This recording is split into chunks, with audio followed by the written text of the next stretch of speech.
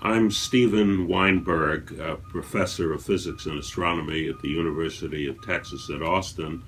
Um, good morning. I'm speaking from my office here at the University of Texas.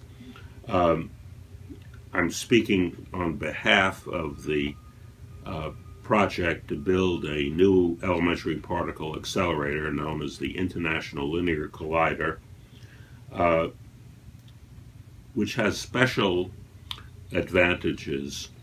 Uh, we talk about different frontiers in physics. Uh, there's a high energy frontier, which is usually pursued uh, these days by building accelerators that uh, collide beams of protons. This uh, the clear example is the is the Large Hadron Collider in Europe, um, which can go to the next generation, we hope, will go to considerably higher energies and perhaps detect new particles that are too heavy to have been produced at the Large Hadron Collider. But there's another frontier, the, the frontier of high precision, um, in which we explore physical processes with, with where the expectations, the theoretical expectations, can be made with great precision, uh, and uh, where the detection of even small departures from those predictions can open up a whole new world of uh, previously unknown physics. And this is particularly true for electron-positron colliders. Uh, electrons and positrons are elementary particles, unlike protons.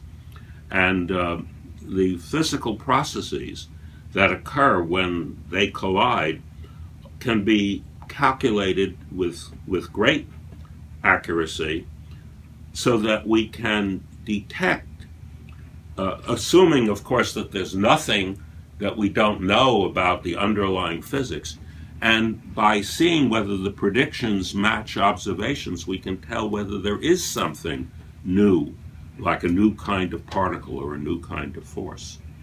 Uh, these electron-positron colliders, in particular, will uh, be able to produce um, pairs of particles like a Higgs particle and a Z particle uh, we know really very well how to calculate that process. Then the Higgs will decay. We know how to calculate its decay modes.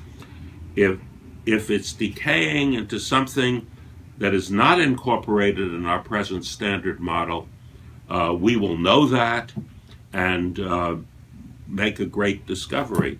And even, it, of course, in that way, you can't produce new particles that are heavier than the Higgs particle, but these calculations can be done so accurately because electron-positron collisions are so clean that we can even detect effects of the Higgs going out of existence and producing entirely new particles, even particles heavier than the Higgs itself, uh, violating conservation of energy briefly before the particles then disappear back into a Higgs particle or into other ordinary particles uh, that we already know about.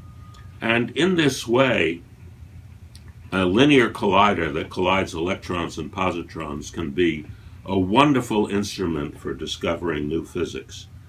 Uh, the whole world of physics will benefit from such a from the data produced by such a uh, an accelerator but the country that hosts it will inevitably receive the greatest benefit uh, in the training of a new generation of scientists who conveniently can work in developing the accelerator, accelerator and then using it, but also in technological spin-offs uh, in, in which accelerator physics is particularly fruitful uh, I think, more fruitful, for example, than the space program. Uh, things like online computing, high magnetic field technology, uh, cryogenics, and so on. Um, it's very natural for this accelerator to be sited in Japan. Japan very early took a, a, an important position in fundamental elementary particle physics with the theoretical work in the 1930s of Yukawa and in the 1940s of Tomonaga. Uh, it has in recent decades become an important player in experimental particle physics uh, with the large uh, detector for rare events uh, underground Kamiokande. It has not been active in accelerator physics. It is time for Japan to begin to play a leading role in that technology. And so for I think it would be very wise for Japan uh, to host this new accelerator project. And I think it would be very wise for the whole world of science to support it because of the data, uh, the insights that this kind of accelerator will produce.